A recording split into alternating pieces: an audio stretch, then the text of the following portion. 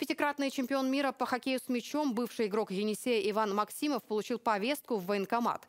49-летний хоккеист сейчас возглавляет молодежную сборную Россию по бенди.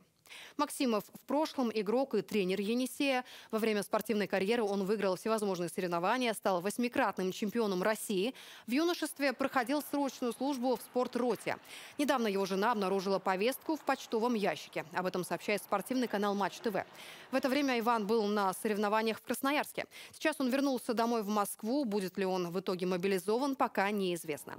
Чуть ранее повестку получил и действующий сотрудник Енисея. Ему 42 года, но самое главное, он инвалид. Хромает и не может бегать. Как рассказали в клубе, мужчина обратился в военкомат со всеми медицинскими документами и мобилизацию для него отменили.